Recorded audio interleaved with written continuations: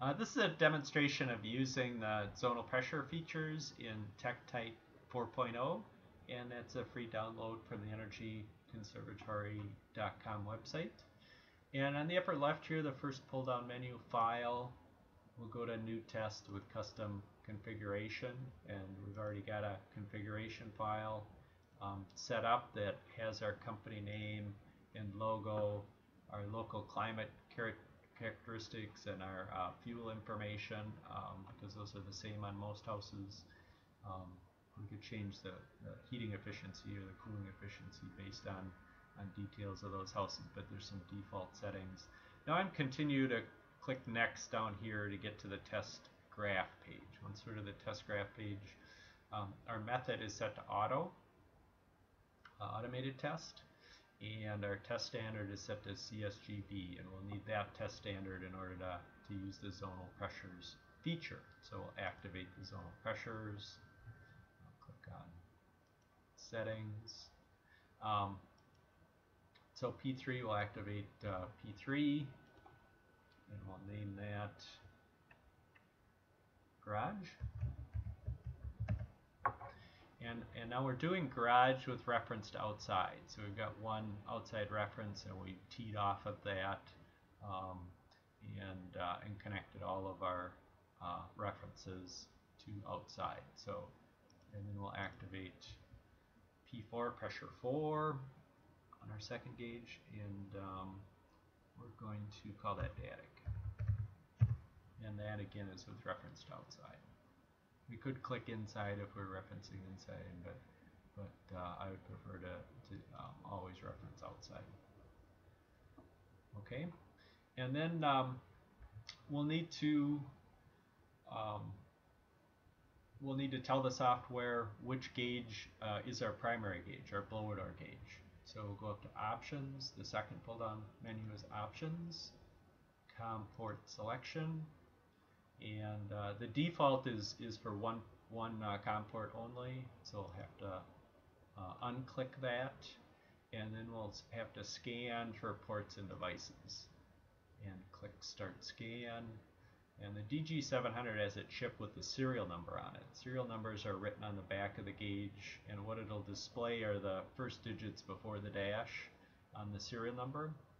And this um, uh, first one that came up happens to be our primary gauge, the blower door gauge.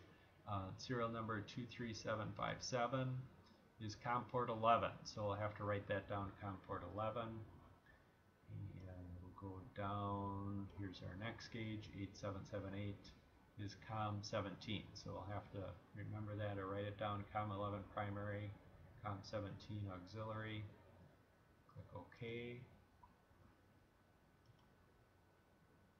So our primary is COM 11, our auxiliary is 17, and click OK. So now our, our gauges are configured. We'll go next to the test graph page. Now it's going to be scanning for our connected devices. Once it turns green and says idle monitoring, we're ready to start our test. So it's it's showing us what our current um, garage and attic pressures are here and which gauge um, is assigned to those, and um, and it's showing our our um, our building baseline number here and which gauge is connected to those. So we're going to hit Start Test here on the right. Start Test, and it's prompting us for our indoor and outdoor temperatures. And we're at about 70. We're at about 45 outside. Click OK. Now it's prompting us to uh, cover our fan inlet to take our baseline reading. And as soon as we click OK, it's going to start recording the baseline readings. Um, so you can see it's going to take 100, um, sampling 100 data points and uh, averaging those for our pretest baseline. Now it's prompting us to uh, uh, set up our appropriate flow ring. Um, we're ready to go and we used uh, ring A test. So now it's adjusting the fan for 50 pascals. I'm going to help it along a little bit here to, to speed up the test. We're going to ramp it up to uh, uh, 50 pascals is our first target.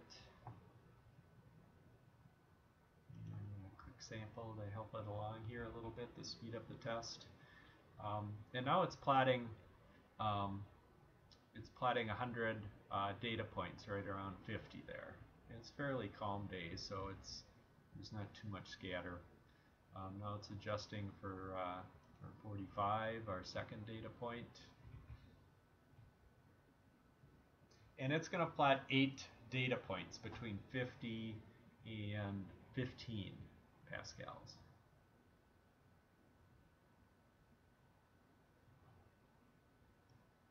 Now it's searching for 40.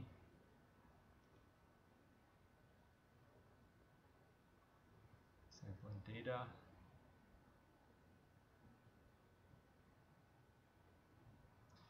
And um, the CGSB um, also does um, a uh, post-test baseline. So it'll do two baseline readings, one at the start and one at the completion of the test and average those two readings for the baseline.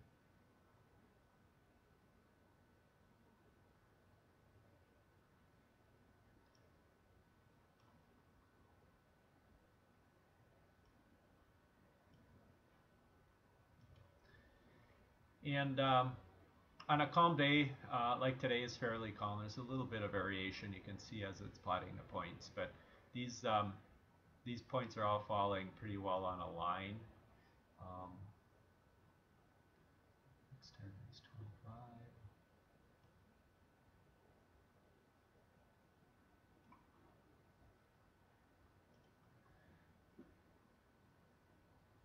25. And, um, and this is a log-log graph. Um, you can see that the distance between um, 50 and 60 is a lot different. it's not proportional to the distance between 4 and 5.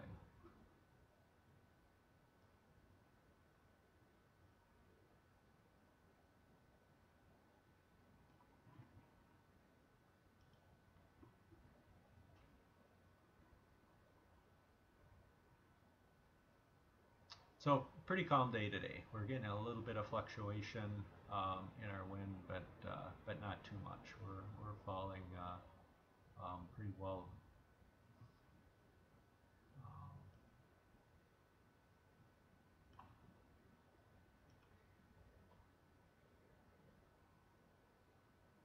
It's taking 100 samples. We're on our last data point, and then uh, we'll have to cover our inlet for to take a baseline and it'll prompt us to do that.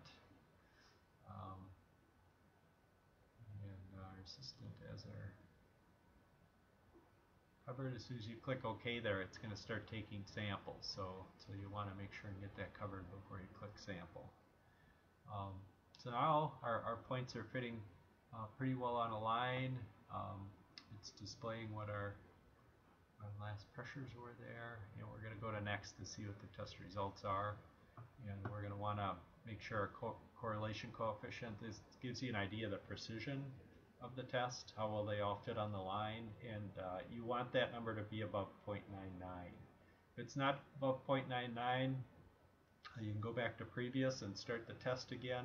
And what it'll do is it'll it'll uh, it'll add more data points to the same um, data we've collected already. And typically when you get additional data points, um, that, uh, uh, that helps. Or you can also adjust the fan adjust rate and um, um, target tolerance to, to, get, um, to get that going a little better. And you can go up to the help menu. The help menu in TECTITE is actually pretty good. Um, and it'll give you hints uh, on every page you're on it, specific information related to that page. Um, so um, now we'll take a look at our report. So we'll go up to File, Preview Report, and we'll look at our zone data report. Um, blow that up a little bit so you can see it. And you know, um, our you know all of our, our data numbers are between one and seven pascals here, and and it's fairly calm day, so they're all falling, you know, fairly well in uh, you know these lines, these slopes look pretty good. There's a, there's a few outliers, but uh, but most of the data points are pretty close, and that's pretty good considering we're measuring um, with reference to outside, and our our pressure numbers are pretty low. Um, um, so this is is uh, uh, calculate our, our, our zone to outside at 50. Looks like 3.5 for the garage and and um, about 2.7 for for the house close that. Um, so if you know if we're if we're always going, I'm going to go back to our COM port selection. If we're always going to be um, using these additional COM ports, then then we can leave this set up here and and we can set it up like that in our configuration file.